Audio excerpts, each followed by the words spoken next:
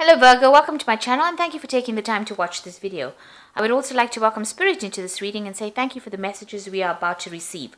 This is a weekly reading for Virgo from the 11th to the 17th of March 2019. Please don't forget to watch your moon and rising sign for a more complete picture. If you like the decks I'm using, I put them in the description box, so have a look.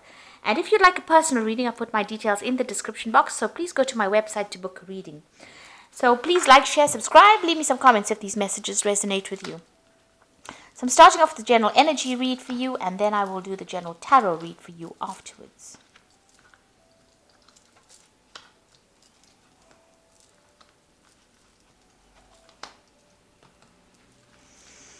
Okay, so the first card is uh, the Tavern, and this is going out, having some fun, meeting friends, so you might be socializing quite a bit at the moment.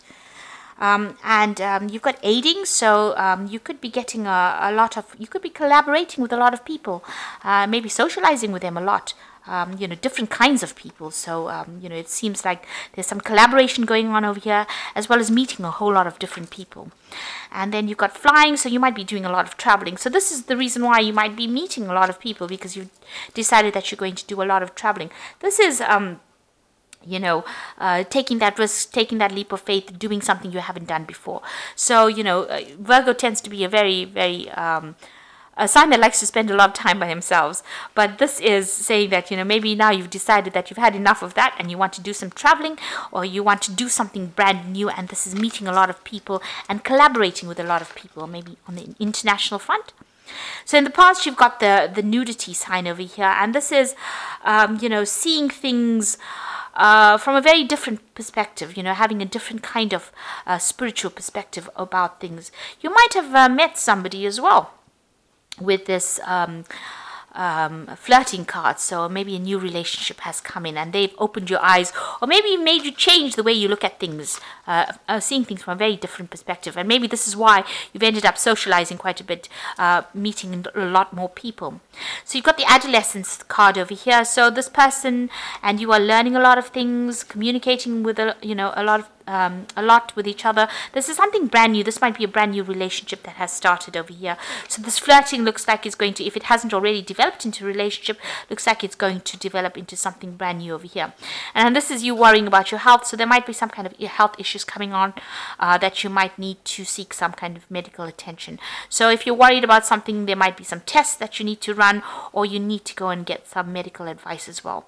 But it looks like this this relationship might start progressing into something brand new. So it starts off with flirting and then progressing into something that is going to grow because this is the ad, uh, the adolescence card.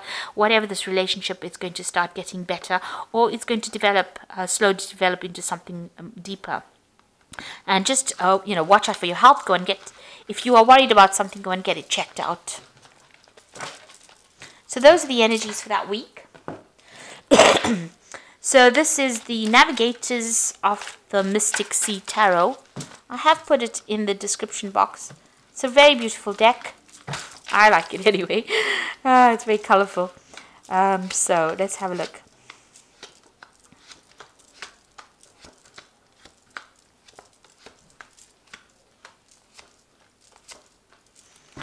Okay, so you've got the Sun card over here, and this is about the card is called organization in this deck, but it's also about achievement, getting things sorted out. This is learning something new as well. Um, this could also be travel, um, but it seems like you're getting getting your act together again, and uh, you know you're. It's a it's a card. The Sun card usually is a focus on work. Um, it's a focus on um, you know achievement um, and uh, something brand new coming in.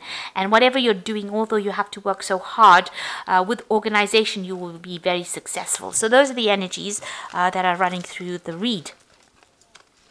So what's happening with you? You've got the Queen of Wands over here and the Satiety card. So um, you're taking back your power, whatever it is. You might be dealing with a fire sign person over here, uh, which could be Aries, Leo, or Sagittarius. Um, and, you know, you might um, be encountering them. Or this could be you just taking on that fire energy as well. Especially since you've got the Sun card over here. So this could well be the energy that you're taking. You're becoming a bit more dynamic. Uh, you know, maybe uh, opening up a bit more, not being so isolated and showing people that you have a lot of power and authority in your hand. This is, uh, you know, satiety is about nine of cups uh, nine of cups is usually about achievement. Uh, but this could also be that you're working so hard that you're completely flat out uh, you know uh, for uh, this is your addiction of virgo. Work seems to be the addiction of virgos and maybe you're working too hard and this is um, tiring you out as well so in the past, you've got the Temperance card, and this is about getting your balance back again, finding your new path in life, and moving forward on it. Um, and it's also about you know worrying a little bit too much about health issues as well. You can see this person's got a new goal, a new focus. So you might have started a brand new job, and this is where all your energy is. So you know you've been focusing so much on it. Maybe um, you know it's brought about a little bit of imbalance. Um, so, and that has affected your health. So, you need to get that health balance back again uh, and move forward. You've got the Fool, so something brand new has come in in the last few months. You've taken that leap of faith. You are doing something very different than what you have been doing. Uh, so, you know, you've changed direction and you seem to be very, very focused on it. You're taking on this energy of the Queen of Wands, taking that authority, but you're overworking as well. So the Ace of Swords, you're definitely speaking your mind. Uh, you know, you have, um, you know, you've taken control of the situation. You're not shy anymore, and you are you know you're done with crying about any kind of difficult situation.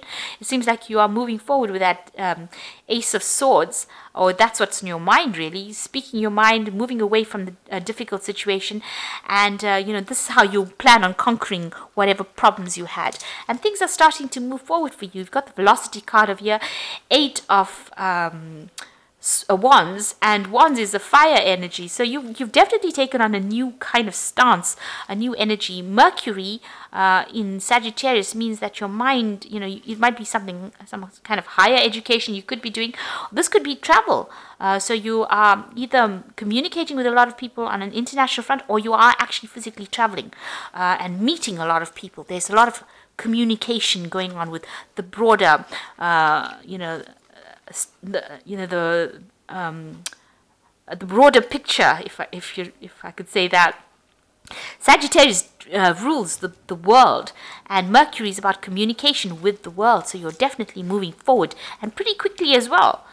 Um, you've got the star, so some kind of revelation has come in for you. So you've had a mind change, uh, mindset change rather, and uh, you know uh, something has brought in a whole new perspective for you, uh, some big change, and this has changed your any energy from being you know somebody uh, a Virgo. Uh, like I said, it tends to be a loner, but it seems like you know you want to communicate now with the rest of the world. You want to put your message out there. You want success.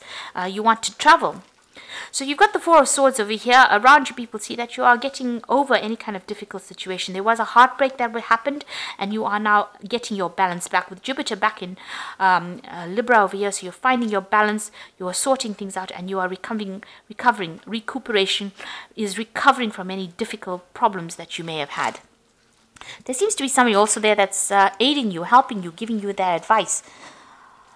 Um, so what you want, you want to get away from any kind of um, this is the ambivalence card, Seven of Swords. So if there was any kind of difficult uh, person that you were dealing with, lies, deceit, deception, uh, theft, you know, that kind of situation, um, whatever happened, uh, you are trying to move away from that situation. So you, you are physically moving away from any kind of um, problems that you had uh, that was not serving you or people that were not serving you, you want to move away from it.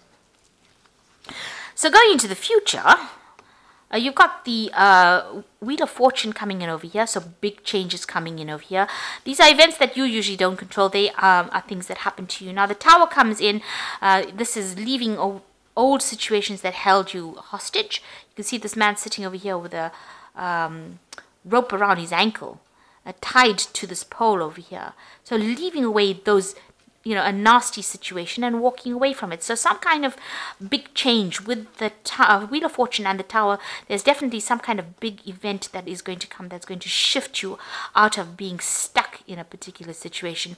You can see that uh, a person is walking away from all the drama and moving away on his own path and his own journey. So this is where you are at at the moment. Maybe you are feeling tied uh, you know and feeling um, um, almost like a prisoner in that situation. But the Wheel of Fortune is coming to shift that energy.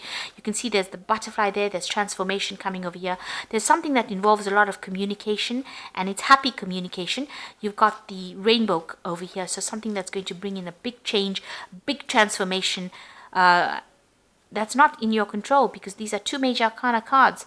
Uh, so something that's going to bring big shifts of energy and put you in a state of being the Queen of Pentacles. So it's going to give you financial success. Whatever comes in, even though it's going to seem rather dramatic, is going to give you that energy, authority, uh, and it's going to allow you to take control of that situation. So you're going to be pretty much in charge uh, of everything and you're going to have that financial success as well some big event coming brought in by the tower, brought in by the Wheel of Fortune.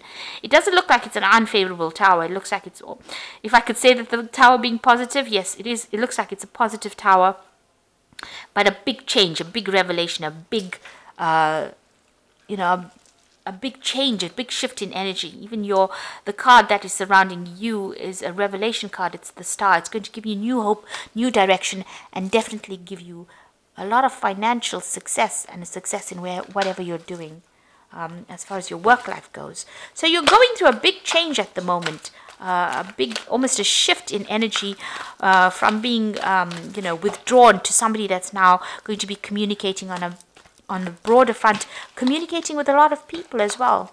So things are definitely moving on, and especially with this velocity card, the Eight of Wands, things are definitely moving on for you.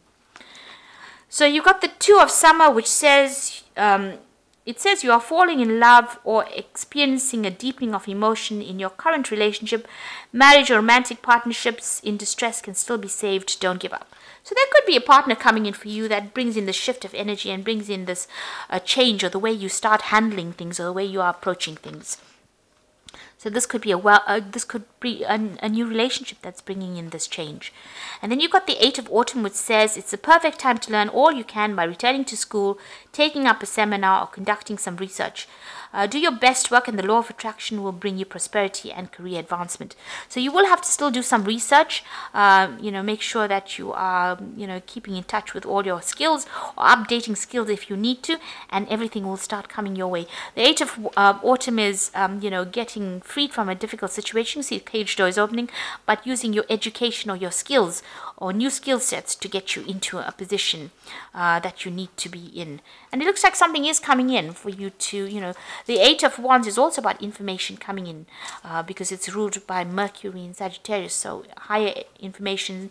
So, you know, some something coming in, some revelation, some kind of information coming in that's going to shift you into something better. Then you've got the Ace of Spring, a wonderful new opportunity presents itself. It may come as a surprise, but you will still want to leap into action and passionately pursue every possibility. So you've got this uh, brand uh, new cycle coming, a new moon coming over there, and this is a new opportunity coming in, and you need to grab it with both hands. So don't be reluctant to start something brand new. You've got the sun over here, so great success coming in, but you can see this person studying still. So you will have to do some studying, some some learning, some kind of skill set improvement in order for you to move forward. But you're definitely going to be moving forward and moving away from any kind of heartbreak situation. Like I said, there could be some kind of relationship happening there where this person is helping you get over that and spurring you on, making you change that energy set of yours. So I hope that this reading has resonated with you. Please don't forget to like, share, subscribe, leave me some comments if it has. Thank you so much for watching. Take care now. Goodbye.